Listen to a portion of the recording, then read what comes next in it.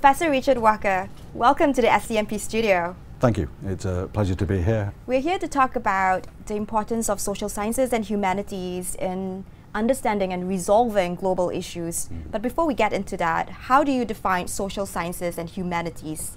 Humanities is, is about humanity. It's about, it's about human beings, uh, the collective people.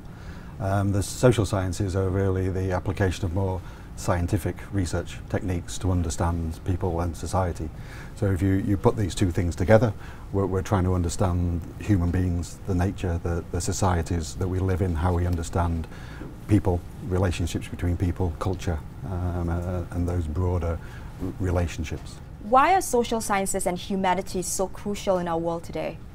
I think if we want to understand the world, we need to understand people we need to understand relationships between people. We need to understand institutions, be they businesses, uh, be they governments, be, be those N NGOs, um, to understand how processes in the world operate.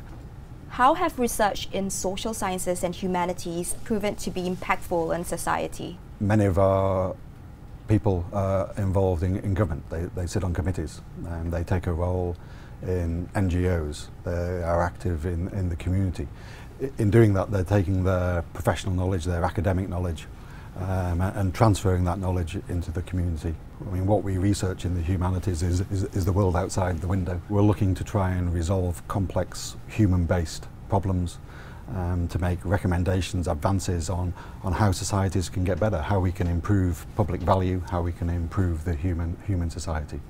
What are the career prospects for humanities and social science students? In the college, many of our programs are professional.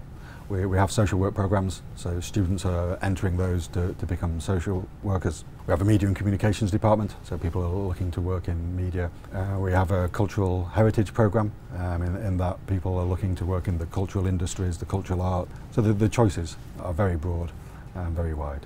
In your opinion, what makes a successful social scientist and a successful person in humanities? I think it's a, it's a thirst for knowledge, curiosity, understanding the world that you live in, the, the events um, that take place, and that, that drives a person towards success.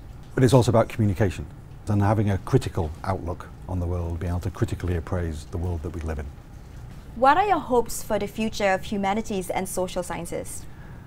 The humanities and social sciences are a fundamental part uh, of education, of, of, life, of society. New developments in data, data sciences, um, digital humanities that allow us to advance our understanding of people um, and society and which build on uh, existing theories, existing methodologies. So the future is bright. That's all the time we have today. Thank you so much, Professor Walker, for being with us this morning. Thank you for having me.